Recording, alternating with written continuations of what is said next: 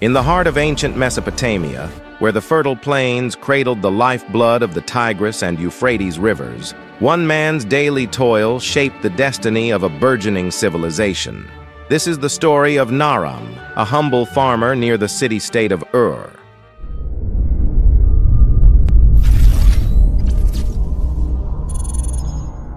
Meet Naram, whose day begins with the rising sun, a sacred ritual as old as the Sumerian soil beneath his feet. The golden glow of dawn bathes his fields, setting the stage for the timeless dance between man and nature. Before his plow breaks the earth, Naram pays homage to the gods at the towering ziggurat dedicated to Nanna, the moon god. For in the divine order lies the promise of a bountiful harvest.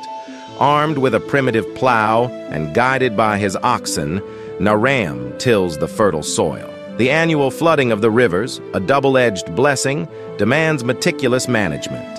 His hands, calloused and weathered, navigate the delicate balance between abundance and scarcity. Through the changing seasons, Naram toils under the scorching sun, his efforts a dance with nature's capricious temperament.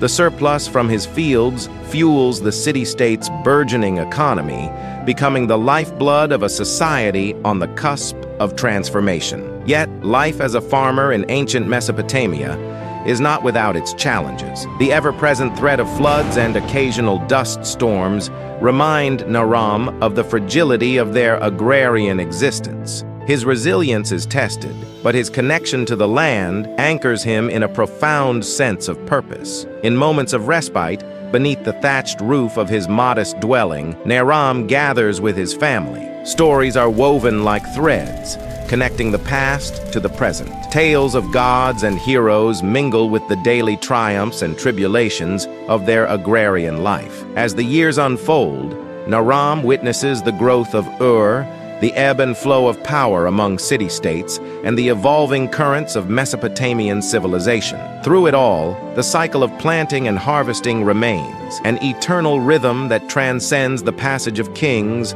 and the rise and fall of empires. In the quiet moments, beneath the vast expanse of the Mesopotamian sky, Naram finds solace. His labor, humble though it may be, is a vital thread in the intricate tapestry of civilization a testament to the enduring spirit of those who, like him, cultivated the cradle of human history.